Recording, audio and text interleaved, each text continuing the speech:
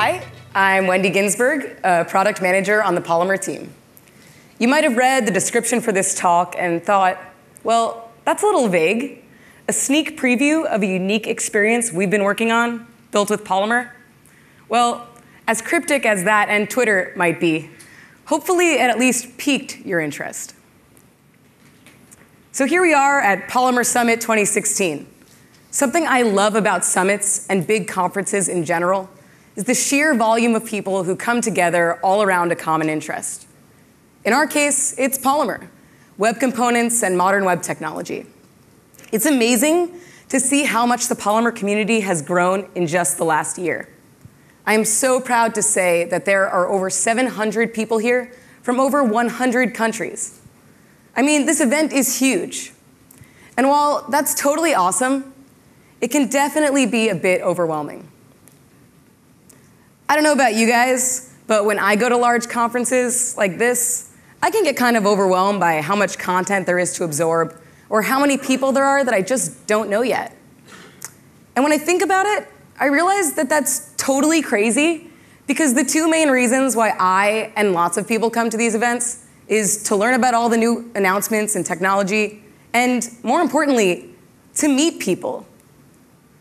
To meet you, to meet other Polymer developers, to meet the Polymer team. And since this is a pretty common sentiment, we thought it might be a good idea to create a cute little progressive web app game to engage everyone and make it easy to strike up conversation with each other. So we started out small. As Matt mentioned, a few months ago, Justin and Chris, two engineers on the team, were chatting towards the end of a week and an idea was born, which totally struck a chord with Chris, and he was immediately inspired. The weekend passed, and by Monday, Chris had already built a prototype. I think I can speak for everybody in the room who's there when I say that we were totally floored. I mean, completely blown away by what he built. And we promptly went completely overboard.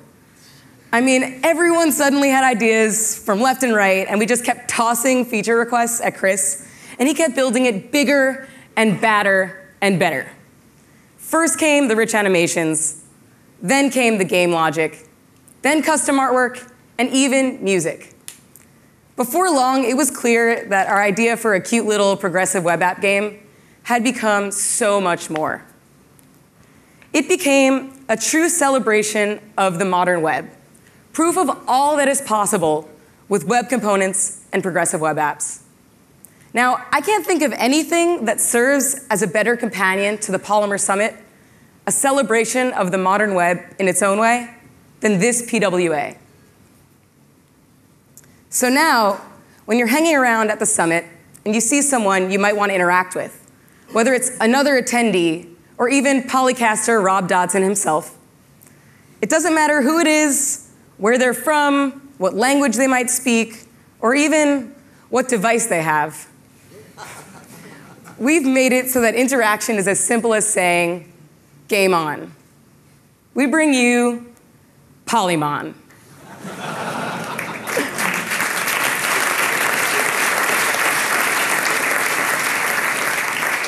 Polymon is an addictingly fun way to interact with the summit.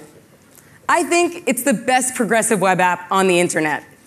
You'll be the first to try it, and we are so psyched to share it with you.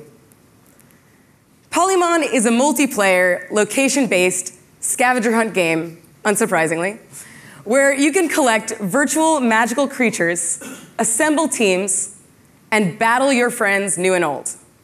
Its slick design and complex functionality are powered entirely by modern web tech.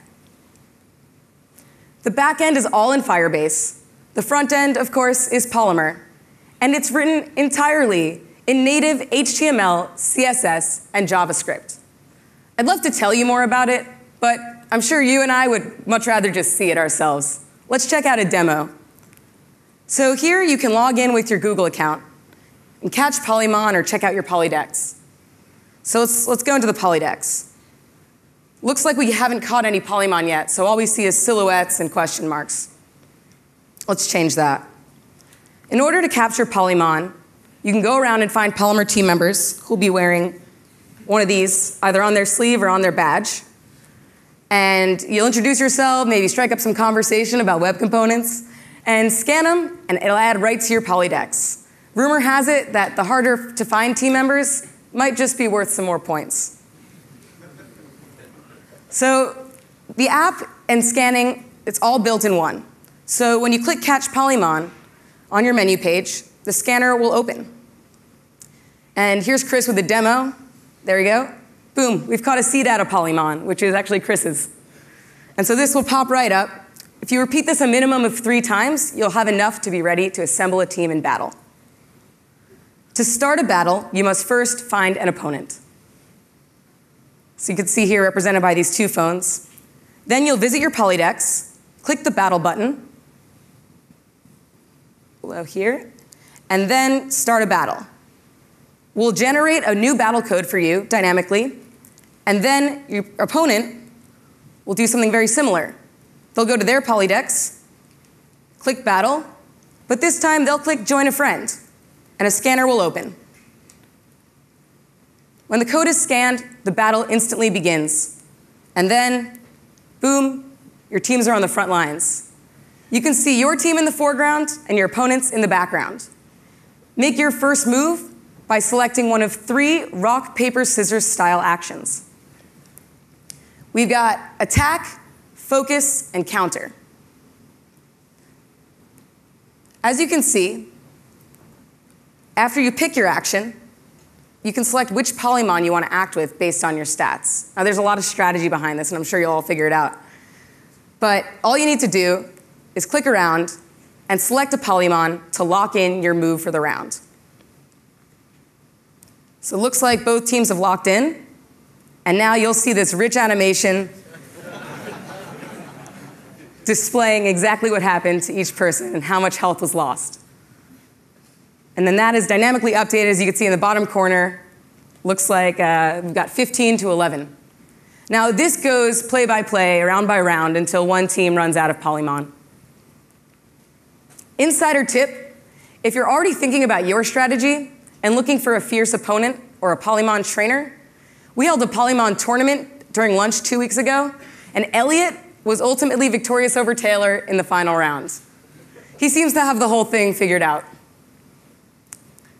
And, which I'm sure you are, if you're curious about what went into building Polymon in its entirety, I highly recommend checking out Chris Joel's talk later, Monster Apps. Now, this is not only because Chris is hilarious and he built this entire thing by himself, um, but it's because he has a lot of experience building heavy duty, not just monster themed, but monster sized web apps. And he'll be sharing tons of tips and tricks and stories with us. Before that, I'll leave you with a few more technical features of Polymon. I've been calling it a progressive web app, but you might be wondering what is it about Polymon that makes it a true PWA? So first, we've got a frictionless download. So forget about an app store, putting in payment info, or waiting to download the giant file. If you've got a modern browser, you've got Polymon. It's as simple as that. Second, there's a service worker, which makes it very resilient to network connectivity issues. While we've learned our lesson and beefed up the network capacity for this year's summit, we all know conference Wi-Fi is notorious, so this is a crucial feature not just to have today, but to have always. Finally, it's got a native look and feel. No matter which device you access Polymon on, be it a phone, phablet, tablet, desktop, it'll look and feel like Polymon was built to fit that screen.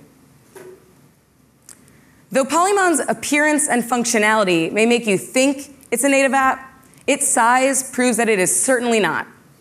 Crazy, but our main page, which loads a live map, a QR processor, code for the Polydex, and the UI elements for the menu, weigh in at under 200 kilobytes. Yeah.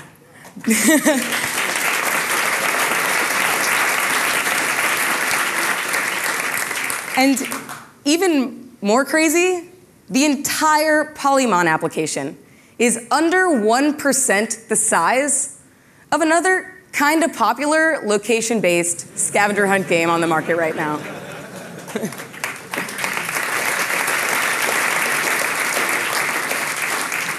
so I'll just leave it at that. Final recap Go out there, catch three to five Polymon, assemble a team, start a battle, and more importantly, have fun and meet people. This is where you could check out Polymon, polymon.polymer-project.org. Finally, thank you. I'm Wendy, or as you'll soon find out, Ginzard. Go introduce yourself to the Polymer team during the break and start catching some Polymon. Thank you.